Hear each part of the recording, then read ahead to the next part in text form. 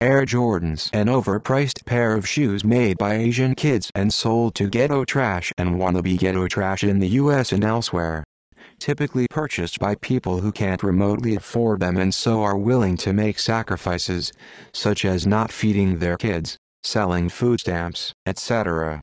To obtain them. The possession of such footwear instills false feelings of superiority to those who don't have them, self-worth, attractiveness and popularity. In all reality though, everyone knows the truth you're just a moron who spent $180 plus on a pair of shoes that you can't afford.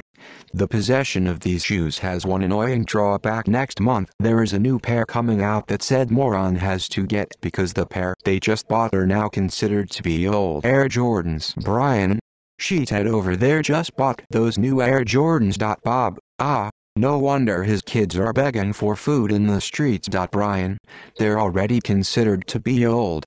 A new pair is coming out in two weeks so the whole miserable process will repeat itself here shortly. Air Jordans. Air.